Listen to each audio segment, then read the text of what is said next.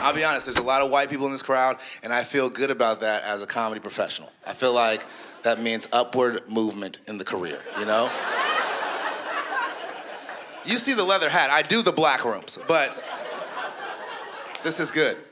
I went to a private school, so I have a lot of white friends. I'm like the quintessential token black friend. Literally, I have like a lot of white friends, and I'm always their only black friend. A lot of brothers, they don't like being the token black friend. Look at the white homie like, hey dog, is this for homework? Are you gonna write an essay about what we did today? Is this for a class? But me, I'm on the other side of life like, damn, out of all the brothers in the world, they chose me. Swag, you know? I'm their LeBron. There was a black friend lottery. I was a number one draft pick, and I took my talents to Caucasia. Don't know what we're clapping for, but let's do it.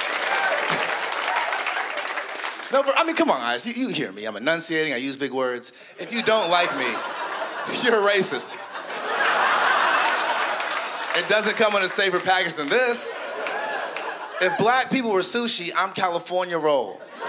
I'm safe. Start here first, get used to this, then go to the hood and have that wasabi. you gotta pace yourself. He seems cool. I'm having a good year, yeah. Like, I'm really having a good year. Um, no kids. Um, no fumbles this season. I didn't drop any drop any seeds. I've been giving those eggs the Heisman. Yeah, I have. And it's tough because you know safe sex requires discipline to choose the option that feels not as good. You know, like they don't tell you that in high school when they're putting the condom on the banana. This is safe sex, but unsafe sex feels way better. Safe sex is like eating a Starburst with some of the wrapper on it. like it's good, but if that wrapper wasn't on it, I'd rather have raw yellow over papered pink any day. This is talking about candy. Uh, uh, just celebrated my uh, two-month broke-up anniversary. I don't know if you guys celebrate the broke-up anniversary. It's like your anniversary, but the opposite. You celebrate your emancipation from the asshole. Me, I treat like Independence Day. I take off work. I barbecue her old belongings. I do fireworks in the backyard. This was me the other day, I promise this. Bitch.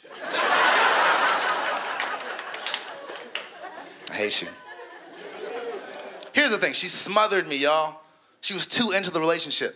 I take a selfie, she's like, stop. It's ussies. We take ussies pilot, co pilot. We're in a relationship to the point where if we were walking somewhere and I walked too fast and there was too much space in between me and her, she would stop. Are you one of those? Hey, I'm back here. I mean, I know we're going to the movie, but I'm all the way back here, here, here. Bitch, did you add an echo? She, I was like, can we just, you know, walk faster and catch the trailer to the movie as well? I like that part. But at the same time, me and her started watching a show together on Netflix, House of Cards. You know it. Crack in episode form. We watched episode one together as a couple, episode two together as a couple, episode three together as a union. It was great. It was a great weekend. Then Monday comes, we get back to our grind. Monday night, go over to her spot, turn on House of Cards. I see all these checks. I see all these checks. I see all these goddamn checks. This bitch is on the next season behind my back. these hoes ain't loyal. I was pissed. If we were engaged, I would have broke it off. I can't do this. I can't share my life with a skipping ahead ass bitch. You're a skipper. How we gonna raise a kid together? I'm in one room potty training. You're in the other room giving them condoms because you're a skipping ahead ass. and there's nothing worse than watching Netflix with someone who's pretending to watch it for the first time. They already watched it behind your back. They cheated on you with new plot and character behind your back, but they say they love you. Either way, either way, they play it off at first. Everybody's watching the episode. This is good. Yeah, it is, babe. I, I haven't seen any of this coming. This is a really good one. They really did their thing. All of a sudden, some random stranger walks on screen. She's like, oh shit. What are we ooh shitting right now? we don't know him.